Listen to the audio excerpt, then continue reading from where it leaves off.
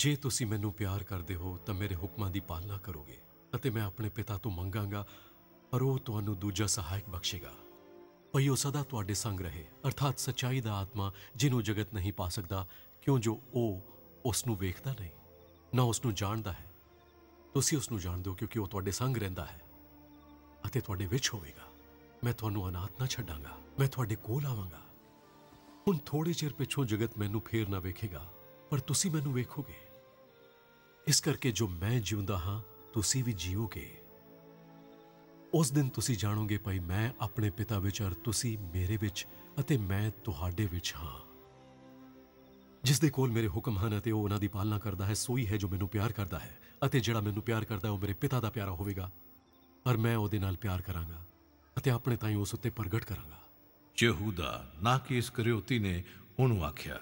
ਪ੍ਰਭੂ ਜੀ ਕੀ ਹੋਇਆ ਹੈ ਜੋ ਤੂੰ ਆਪਣਾ ਆਪ ਸਾਡੇ ਉੱਤੇ ਪ੍ਰਗਟ ਕਰੇਗਾ ਔਰ ਜਗਤ ਉੱਤੇ ਨਹੀਂ? ਜੇ ਕੋਈ ਮੈਨੂੰ ਪਿਆਰ ਕਰਦਾ ਹੈ, ਉਹ ਮੇਰੇ ਵਚਨ ਦੀ ਪਾਲਣਾ ਕਰੇਗਾ ਅਤੇ ਮੇਰਾ ਪਿਤਾ ਉਹਨੂੰ ਪਿਆਰ ਕਰੇਗਾ ਅਤੇ ਅਸੀਂ ਉਹਦੇ ਕੋਲ ਆਵਾਂਗੇ ਔਰ ਉਹਦੇ ਨਾਲ ਵਾਸ ਕਰਾਂਗੇ। ਜਿਹੜਾ ਮੈਨੂੰ ਪਿਆਰ ਨਹੀਂ ਕਰਦਾ, ਉਹ ਮੇਰੇ ਵਚਨਾਂ ਦੀ ਪਾਲਣਾ ਨਹੀਂ ਕਰਦਾ। ਅਤੇ ਇਹ ਵਚਨ ਜੋ ਤੁਸੀਂ ਸੁਣਦੇ ਹੋ, ਮੇਰਾ ਨਹੀਂ, ਸਗੋਂ ਪਿਤਾ ਦਾ ਹੈ, ਜਿਨ ਮੈਨੂੰ ਕੱਲਿਆ ਮੈਂ ਇਹ ਗੱਲਾਂ ਤੁਹਾਡੇ ਰਹਿੰਦਿਆਂ ਤੁਹਾਨੂੰ ਆਖੀਆਂ ਹਨ, ਪਰ ਉਹ ਸਹਾਇਕ ਅਰਥਾਤ ਪਵਿੱਤਰ ਆਤਮਾ ਜਿਹਨੂੰ ਪਿਤਾ ਮੇਰੇ ਨਾਮ ਉੱਤੇ ਕੱਲੇਗਾ ਸੋ ਤੁਹਾਨੂੰ ਸਭ ਕੁਝ ਸਿਖਾਲੇਗਾ ਅਤੇ ਸਭ ਕੁਝ ਜੋ ਮੈਂ ਤੁਹਾਨੂੰ ਆਖਿਆ ਹੈ, ਤੁਹਾਨੂੰ ਚੇਤੇ ਕਰਾਵੇਗਾ। ਮੈਂ ਤੁਹਾਨੂੰ ਸ਼ਾਂਤੀ ਦੇ ਜਾਂਦਾ ਹਾਂ। ਆਪਣੀ ਸ਼ਾਂਤੀ ਮੈਂ ਤੁਹਾਨੂੰ ਦਿੰਦਾ ਹਾਂ। ਜਿਸ ਤਰ੍ਹਾਂ ਸੰਸਾਰ ਦਿੰਦਾ ਹੈ, ਮੈਂ ਉਸ ਤਰ੍ਹਾਂ ਤੁਹਾਨੂੰ ਨਹੀਂ ਦਿੰਦਾ।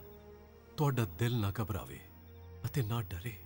ਤੁਸੀਂ ਸੁਣਿਆ ਜੋ ਮੈਂ ਤੁਹਾਨੂੰ ਆਖਿਆ ਸੀ, ਭਈ ਮੈਂ ਚਲਿਆ ਜਾਂਦਾ ਹਾਂ, ਫਿਰ ਤੁਹਾਡੇ ਕੋਲ ਆਉਂਦਾ ਹਾਂ।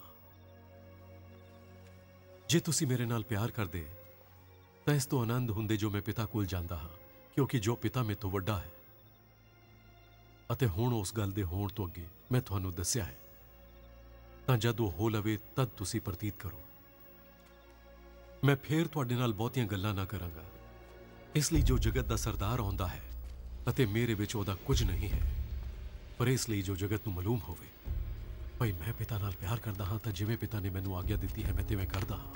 ਉਠੋ, ਇੱਥੋਂ ਚਲੀਏ।